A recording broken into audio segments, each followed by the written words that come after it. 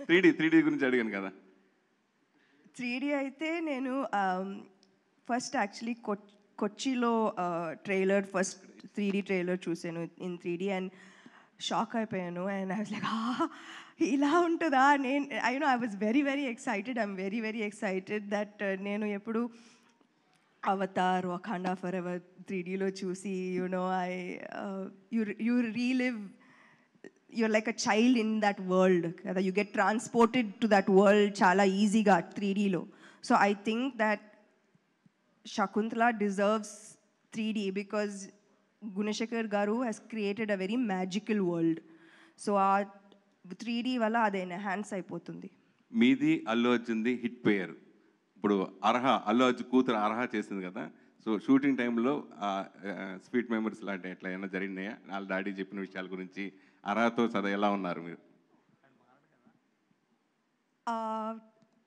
మీరు సినిమా చూడబోతున్నారు and I believe that Arha screen మీద వచ్చేటప్పుడు like she you are going to have a big smile on your face every time she comes on screen Samantha garu నమస్కారం అండి. మాకు నమస్కారం. కూడా కొన్ని స్ప్లిట్ చేసి అడిగితే బాగుంటుంది. డెఫినెట్గా అడుగుతానండి డెఫినెట్గా అడుగుతాను తర్వాత సమంత గారికి వెళ్ళండి.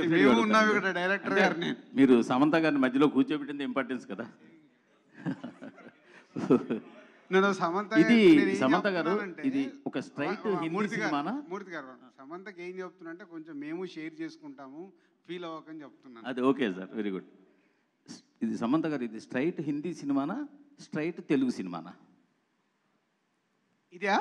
స్ట్రైట్ తెలుగు ఫిలిం అండి. మరి తెలుగు స్ట్రైట్ తెలుగు సినిమా అయినప్పుడు సమంత గారు హిందీ పబ్లిసిటీ మీద పెట్టినంత దృష్టి తెలుగు మీద ఎందుకు పెట్టట్లేదు? ఓకే ఇది నేను ప్రొడ్యూసర్ నేను మాట్లాడతాను. మీరు ఆవిడ. చెప్పనివ్వండి సార్ మీరు ఆవిడ కాదు చెప్పనివ్వండి కాదు కాదు ఆవిడ చెప్పి నేను ముందు ప్రొడ్యూసర్గా నేను ప్ర- మీరు- ఒక్క నిమిషం అండి ఒక్క ప్రొడ్యూసర్గా నేను ఏది డిజైన్ చేస్తే వాళ్ళు అక్కడికి వస్తున్నారు ప్రమోషన్ చేస్తున్నారు. సో తెలుగులో కూడా చెయ్యట్లేదు అనేది కరెక్ట్ కాదు. లాస్ట్ త్రీ డేస్ నుంచి మొత్తం తెలుగు మీదే ఉన్నాం. సరే కానీ ఆల్సో నేను బ్రేక్ తీసుకున్నాను. చాలా రోజులు రోజులు బ్రేక్ తీసుకున్నాను. సో నాకు కమిట్మెంట్స్ ఉన్నాయి. ఖుషీది సిటిడల్ది సో నేను అప్పుడు ముంబై ప్రమోషన్స్ చేసేటప్పుడు నేను సిటిడల్ షూటింగ్లో ఉన్నాను.